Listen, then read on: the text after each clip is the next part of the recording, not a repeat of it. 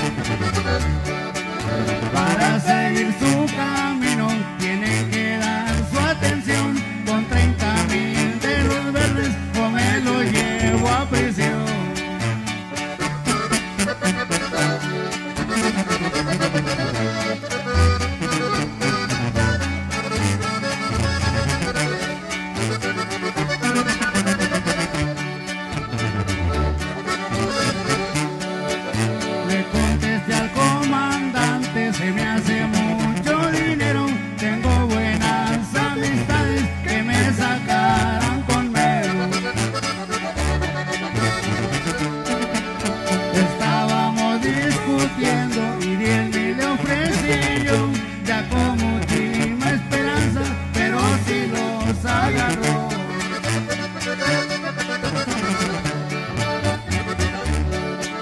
Los traían por callejones mientras